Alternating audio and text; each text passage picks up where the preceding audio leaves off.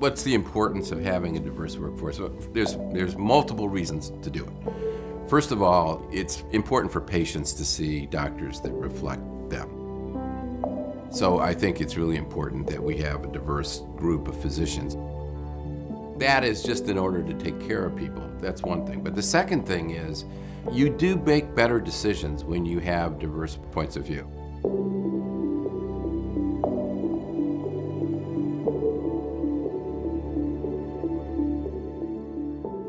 I think to assemble a really good group of students and a great workforce, you need diversity in multiple domains. A lot of times people think, well, racial diversity or gender diversity, but there are many types of diversity in a scientific environment. For example, there's socioeconomic diversity. There's differences in age, differences in background. When you think of a diverse workforce within a health system setting, that workforce brings a unique set of ideas, a unique set of understanding of the needs of a particular group of individuals. You are able to really understand the biases, the needs that may influence the outcomes for our patients and families. Part of St. Luke's mission is to provide care, treatment, and services for all patients and families. We have a diversity and inclusion task force that really brings a unique set of individuals from across the division to brainstorm, to celebrate, to understand, so that those team members go back into the workforce and really serve as ambassadors around culture and ambassadors around change. I think people want to come and work for a health system that looks like them, that represents them, that understands their unique needs. And so a lot of us have tried to come up with ways to, to bring in diverse populations into our medical schools and our medical profession.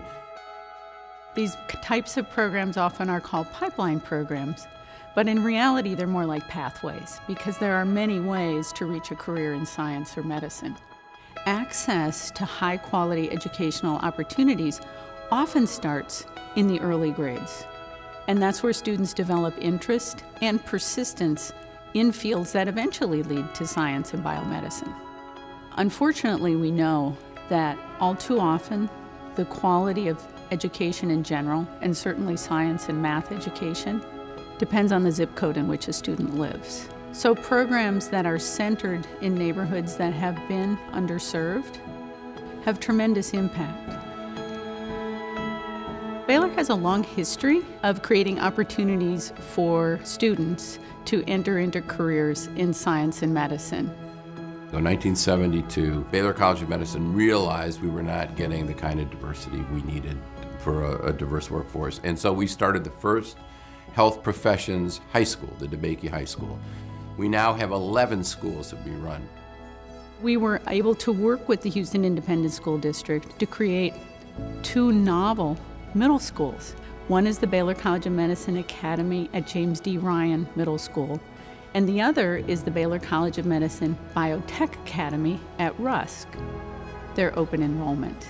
So any student has an opportunity to go to one of those middle schools become prepared in science and math, and then ready to go into any academically rigorous program. It's really been wildly successful. So 70% of the kids graduating from our uh, health profession schools go into a health profession. The goal is to help the Texas Medical Center itself fulfill workforce needs with a diverse population of professionals. And at the same time, the goal is to create a broader applicant pool with diverse individuals from across all Houston schools to come into science and medicine. We are committed to enhancing the educational experience of all learners who enter our health system.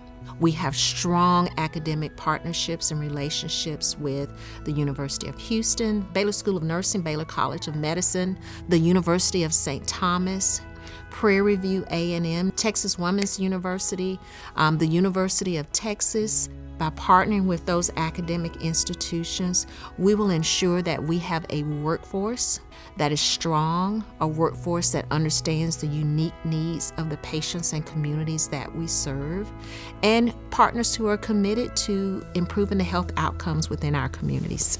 We have an additional partnership with the University of Houston with DeBakey High School that enables up to six graduates per year to enter into an eight year program in which they complete four years at the University of Houston and have provisional acceptance and a seat already in our class of incoming medical students. We have been trying over the last 10 years to change the way we interview students to get into medical school. So it used to be very much how do you test. Now we, ha we have something that's called a holistic review process. We often provide uh, scenarios to the applicants to sort of think through and we have multiple uh, interviewers so it's not just one person's opinion and we've been able to diversify the applicant pool for the first time, we have almost 28% of our incoming class underrepresented minorities in medicine. We've now had our first graduate from the middle school at Ryan come all the way through and enter into the University of Houston Baylor College of Medicine eight-year program. A graduate of our DeBakey High School is now on the faculty in a transplant physician. We've got the entire life cycle, you know, from starting in school all the way through college, medical school, and then into, the, into our faculty.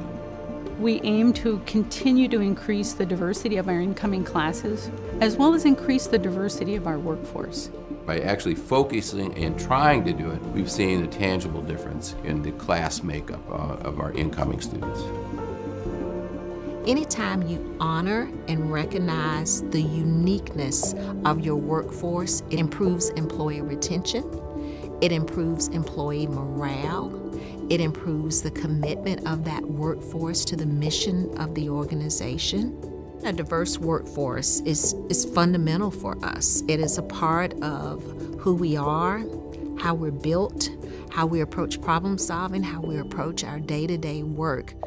If we know the population of patients that we're taking care of, then we can better serve and better help influence outcomes.